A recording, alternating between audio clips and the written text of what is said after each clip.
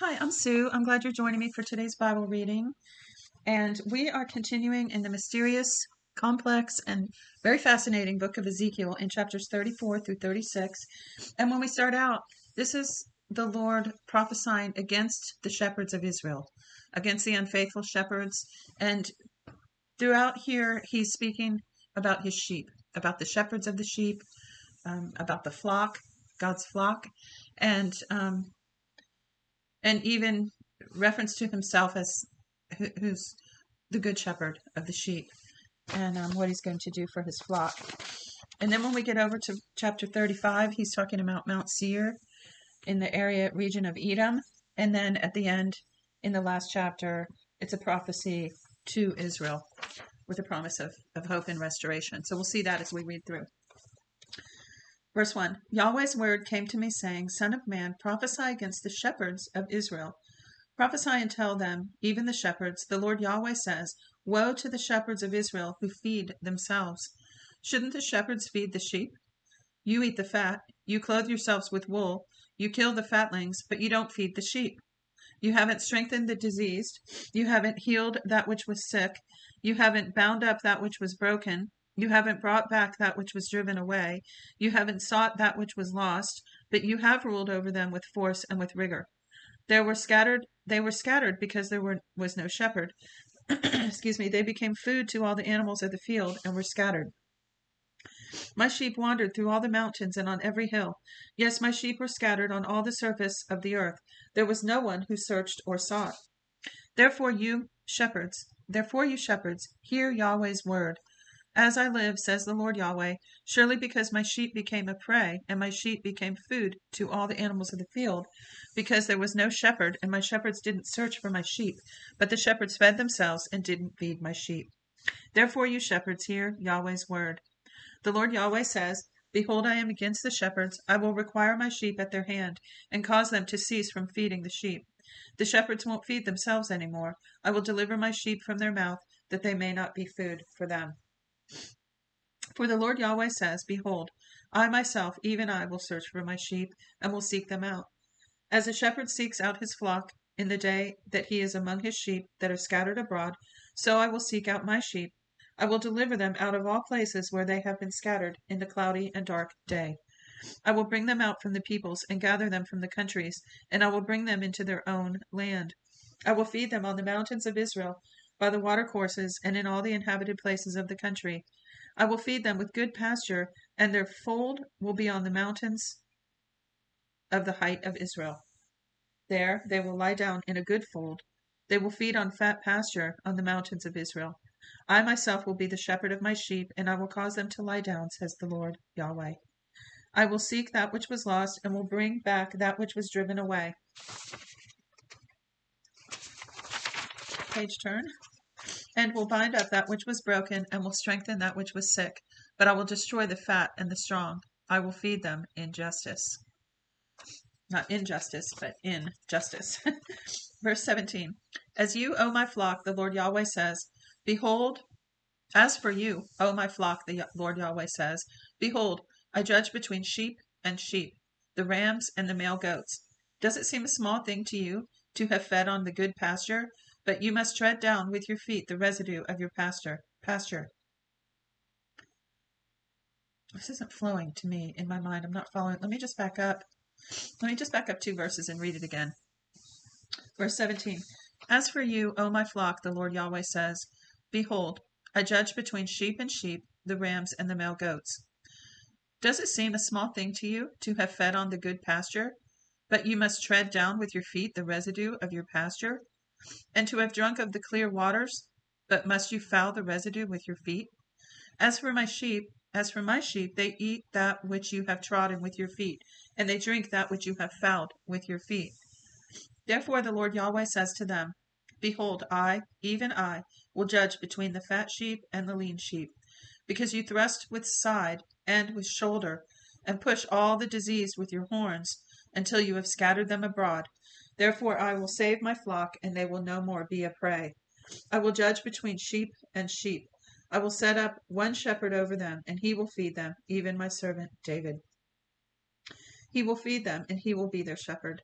I, Yahweh, will be their God, and my servant David, prince among them. I, Yahweh, have spoken it.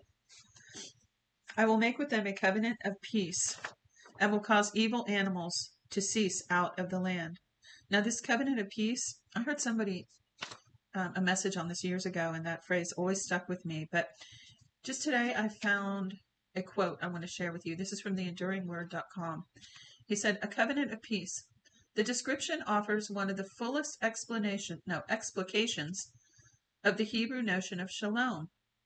The term obviously signifies much more than the absence of hostility or tension. It speaks of wholeness, harmony, fulfillment, humans at peace with their environment and with God. I'm going to read that again. A covenant of peace. The description offers one of the fullest explications of the Hebrew notion of shalom, which means peace. The term obviously signifies much more than the absence of hostility or tension. Excuse me. It speaks of wholeness, harmony, fulfillment, humans at peace with their environment and with God. That's what a lot of the environmentalists want, right? They want us to live in peace and harmony, kind of back to basics with with the environment, which which was the original intent, right? And we'll be restored to that later on, but not during this fallen era. So, um, you may have heard the definition of shalom as nothing missing, nothing broken. I think this kind of goes along with that. So it's a, it's a, among other things, a picture of the future, um, the future eternal reign of the Good Shepherd. So back to the back to the text here. Verse 25 I will make with them a covenant of peace and will cause evil animals to cease out of the land. They will dwell securely in the wilderness and sleep in the woods. I will make them and the places around my hill a blessing. I will cause the shower to come down in its season. There will be showers of blessing. The tree of the field will yield its fruit, and the earth will yield its increase, and they will be secure in the land. Then they will know that I am Yahweh, when I have broken the bars of their yoke and have delivered them out of the hand of those who made slaves of them. They will no more be a prey to the nations, neither will the animals of the earth devour them, but they will dwell securely, excuse me, and no one will make them afraid. I will raise up to them a plantation for renown, and they will no more be consumed with famine in the land, and not bear the shame of the nations any more. They will know that I, Yahweh, their God, am with them, and that they, the house of Israel, are my people, saith the Lord Yahweh. You, my sheep, the sheep of my pasture, are men, and I am your God, says the Lord Yahweh. Moreover, Yahweh's word came to me, saying, Son of man, set your face against Mount Seir.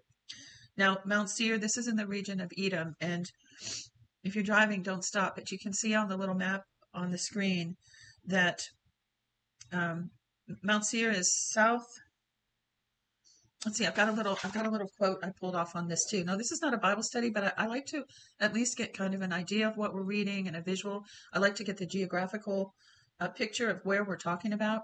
And so this is just from wikipedia. It says mount seir is the ancient and biblical name for a mountainous region stretching between the dead sea and the gulf of, of aqaba in the northwestern region of edom and southeastern of judah. So you can see on the map there it's southeast of judah and jerusalem I think the map only has Jerusalem. I'm not looking at it right now.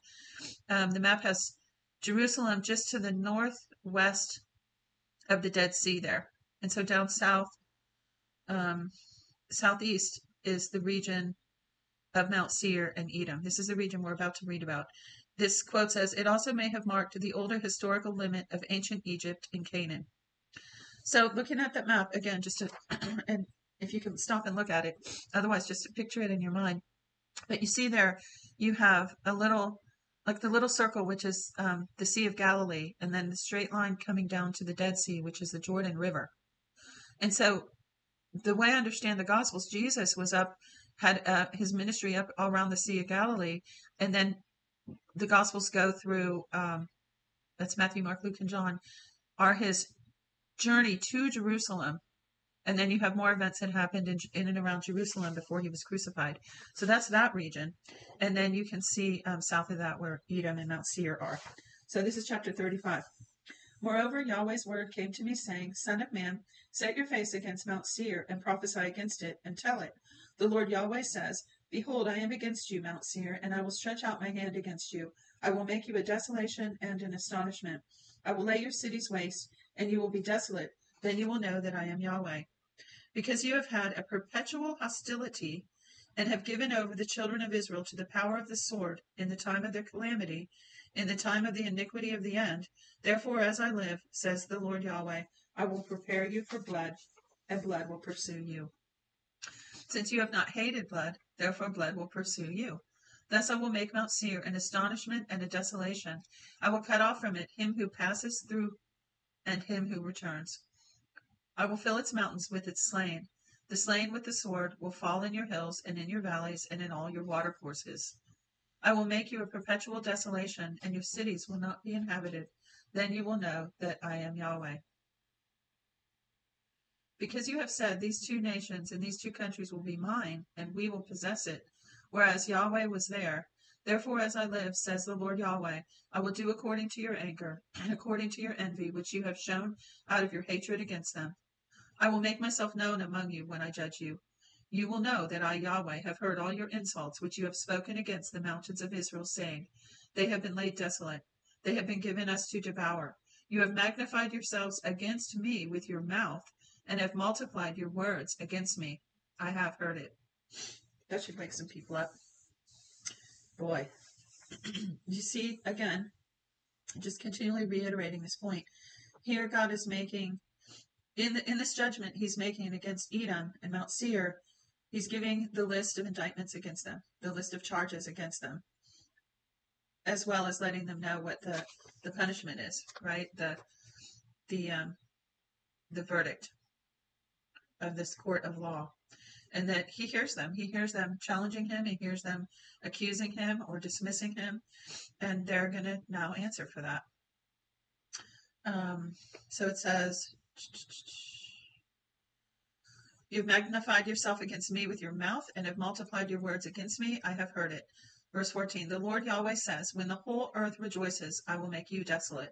As you rejoiced over the inheritance of my house of Israel because it was desolate, so I will do to you. You will be desolate, Mount Seir, and all Edom, even all of it. Then they will know that I am Yahweh. Chapter 36. Now this is this is a uh, chapter 36 is about Israel. God's people, God's land. You, son of man, prophesy to the mountains of Israel and say, You mountains of Israel, hear Yahweh's word. The Lord Yahweh says, Because the enemy has said against you, Aha, and the ancient high places are ours in our possession. Therefore prophesy and say, The Lord Yahweh says, Because even because even because that's a funny way to write it. Let me back up. The Lord Yahweh says, because um the Lord Yahweh says, Because even because they have made you desolate and swallowed you up on every side, that you might be a possession to the residue of the nations, and you are taken up in the lips of talkers and the evil report of the people. Therefore, you mountains of Israel, hear the word of the Lord Yahweh. The Lord Yahweh says to the mountains and to the hills, to the watercourses and to the valleys, to the desolate wastes and to the cities that are forsaken, which have become a prey and derision to the residue of the nations that are all around. Therefore, the Lord Yahweh says, Surely in the fire of my jealousy I have spoken against the residue of the nations, and against all Edom, that have appointed my land to themselves for possession, with the joy of all their heart, with despite of soul, to cast it out for prey. Therefore prophesy concerning the land of Israel, and tell the mountains, the hills, the watercourses, and the valleys. The Lord Yahweh says, Behold, I have spoken in my jealousy and in my wrath because you have borne the shame of the nations. Therefore the Lord Yahweh says, I have sworn, surely the nations that are around you will bear their shame. Verse 8 But you, mountains of Israel, you shall shoot out your branches and yield your fruit to my people Israel, for they are at hand to come. For behold, I am for you, and will come to you, and you will be tilled and sown. I will multiply men on you, all the house of Israel, even all of it, the cities will be inhabited, and the waste places will be built. I will multiply man and animal on you. They will increase and be fruitful. I will cause you to be inhabited as you were before, and you will do better than at your beginnings. Then I pray that for every person who ever listens to this, that our end will be better than our beginning, and that we will continually produce, and no matter what the situation, no matter what trial, that our end will be better than our beginning in Jesus' name. Still in verse 11. Then you will know that I am Yahweh. Yes, I will cause men to walk on you, even my people Israel. They will possess you, and you will be their inheritance, and you will never again bereave them of their children. The Lord Yahweh says, Because they say to you, You are a devourer of men, and have been a bereaver of your nation, therefore you shall devour men no more, and not bereave your nation any more, says the Lord Yahweh. I won't let you hear the shame. I won't let you hear the shame of the nations any more. You won't bear the reproach of the people any more, and you won't cause your nation to stumble any more, says the Lord Yahweh. Moreover, Yahweh's word came to me, saying, Son of man, when the house of Israel lived in their own land, they defiled it by their ways and by their deeds. Their way before me was as the uncleanness of a woman in her impurity. Therefore I poured out my wrath on them for the blood which they had poured out on the land, and because they had defiled it with their idols. I scattered them among the nations, and they were dispersed through the countries. I judged them according to their way and according to their deeds. When they came to the nations where they went, they profaned my holy name, in that men said of them, These are Yahweh's people, and have left the land. But I had respect for my holy name which the house of Israel had profaned among the nations where they went. Wow. Therefore tell the house of Israel, the Lord Yahweh says, I don't do this for your sake, house of Israel, but for my holy name, which you have profaned among the nations where you went. I will sanctify my great name, which has been profaned among the nations, which you have profaned among them. Then the nations will know that I am Yahweh, says the Lord Yahweh, when I am proven holy in you before their eyes. I will take you from among the nations and gather you out of all the countries and bring you into your own land. I will sprinkle clean water on you, and you will be clean. I will cleanse you from all your filthiness and from your idols. I will also give you a new heart and will put a new spirit within you. I will take away the stony heart of flesh and give you a heart. Oh, wait, I will take away the stony heart out of your flesh and give you a heart of flesh. I will put my spirit within you and cause you to walk in my statutes. You will keep my ordinances and do them. You will dwell in the land that I gave to your fathers. You will be my people, and I will be your God. I will save you from all your uncleanness. I will call for the grain and will multiply it, and lay no famine on you. I will multiply the fruit of the tree and the increase of the field, that you may receive no more the reproach of famine among the nations. Then you will remember your evil weeds evil ways and your deeds that were not good, and you will loathe yourselves in your own sight for your iniquities and for your abominations. I don't do this for your sake, says the Lord Yahweh. Let it be known to you. Be ashamed and confounded for your ways, house of Israel. The Lord Yahweh says, In that day I will cleanse you from all iniquities. I will cause the cities to be inhabited, and the waste places will be built. The land that was desolate will be tilled instead of being a desolation in the sight of all who pass by. They will say, This land was desolate and has become like a garden of Eden. The waste, desolate, and ruined cities are fortified and inhabited. Then the nations that are left around you will know that I, Yahweh, have built the ruined places and planted that which was desolate. I, Yahweh, have spoken it and will do it. I mean, just look at Israel today.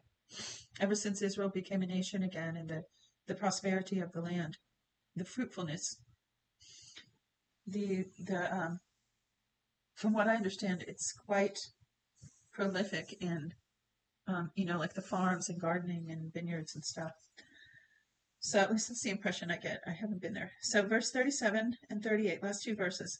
The Lord Yahweh says, For this, moreover, I will be inquired of by the house of Israel to do it for them.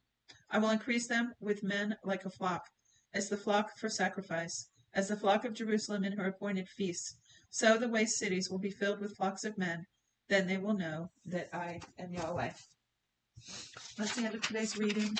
Again, I don't want this so much to be a Bible study. It's just a Bible reading and a time to just kind of absorb the word at face value and and see what the Holy Spirit would show us through it uh, personally, each person, and just um, you know, just get the puzzle pieces to continue to put our jigsaw puzzle together to understand um, the books of the Bible. And I invite your comments please comment any thoughts that you have, any corrections, you know, any additional information you want to add. Feel free to email me. The email is in the description under the YouTube channel. And listen, if you haven't given your heart to Jesus, if you, in other words, if you haven't made him Lord of your life and received the gift of eternal life through faith in Jesus Christ, please don't wait. I read a quote by Steve Stewart calling um, it's about the inclusive Jesus. He said, I don't think there was ever anyone who lived as inclusive a life as Jesus and he just gave that picture of Jesus going around um, everywhere he went, really, and just loving people and from from all strata, except the ones that were hard hearted and you know, and just full of religious puffery. But um, just loving people. And Steve Steve said that inclusion is the activation of compassion, and that was it. That was the compassion and love of Jesus, and he's still that way today. He wants every person in his fold that he can, you know, be that shepherd and and take care of us. And and really, that's what it's referring to here in this last part that we read, where he said, "I'll take out the stony heart and give you a heart of flesh." That's what he wants to do. He wants to. He I believe that's what he referred to when he said, You can't put new wine in old wineskins. You have to have that new wineskin, that new spirit first, so he can put the new wine of the Holy Spirit in you, fill you with his spirit, and write his word on your heart. That's why it said, um, let me find it real quick. He said, um, I will put my spirit within you and cause you to walk in my statutes. Because now once we're born again, once we receive that gift of the Holy Spirit, now we walk in obedience to God out of our heart, not from outward works and not from a list of do's and don'ts, but just out of a, a heart of love and compassion. We follow God and and uh, walk as His disciples, as His sheep, right? And also in the description under the YouTube channel, as uh, information how you can get your free Bible if you want one of them, and just other helpful information. There's a link to a playlist under there. There's a link to the um, introduction to Ezekiel that I did, and I also encourage you to go look up like the uh, there's a YouTube by Bible Project, which I think is called Ezekiel Overview, which will give you a real good idea of the book. It's it's fun and easy to watch. It's a graphic art. They draw out the book as they're explaining it to you. So go get that. And again, thanks for joining me. God bless you. Till next time.